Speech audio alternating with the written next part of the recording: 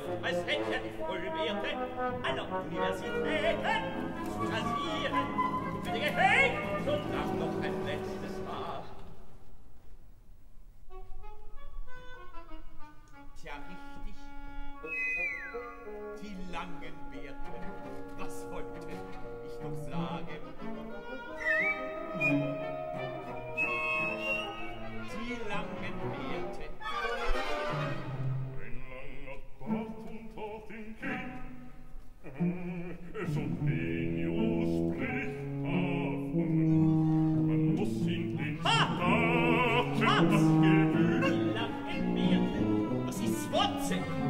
Hat er nicht den Hahn, was für den in seiner Schlüssel gefunden? Hahaha, versteht mich doch.